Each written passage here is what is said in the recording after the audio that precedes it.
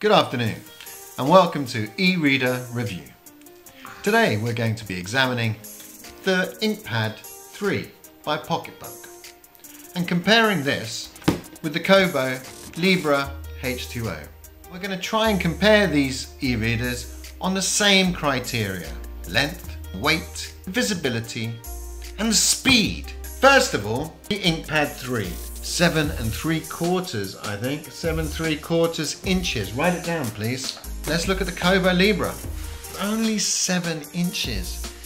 And when you put them side by side, you can't help but noticing it does seem to make a big difference, that three quarters of an inch. I think they're about the same weight. So write it down. Now, in terms of visibility, which one do you think is the clearest? Well, you'd have to say really that the InkPad 3 has got a little bit of an advantage. Finally, in terms of speed. Okay, speed. Papa, Look, can I just what? This is just boring. You're you're you're boring everyone's every, every single person's brain in this entire episode. Put that away. Put that away now. Put I just want to show this. that away. Take this.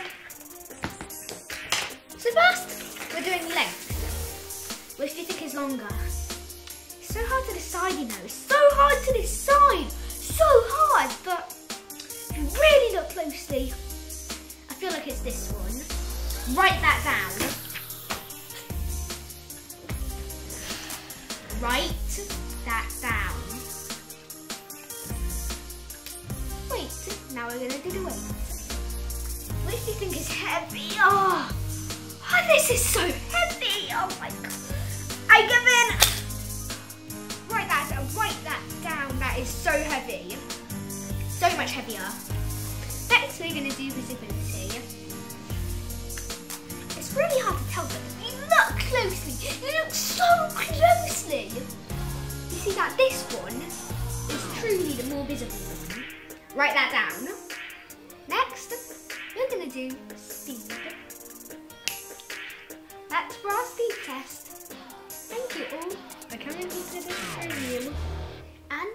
We'll see you next time.